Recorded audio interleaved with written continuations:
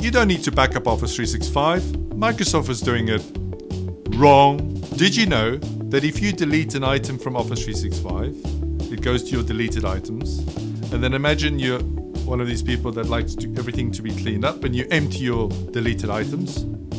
And then 31 days and one minute later, you decide, ah, oh, I need to recover that. You can say bye bye, bye bye to the data.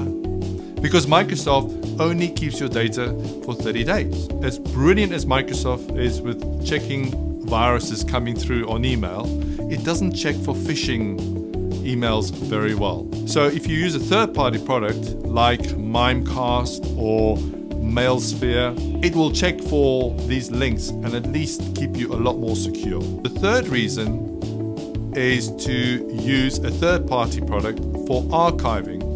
Same products I already mentioned because then at least every single email that comes in and out of your office will be kept forever and be backed up.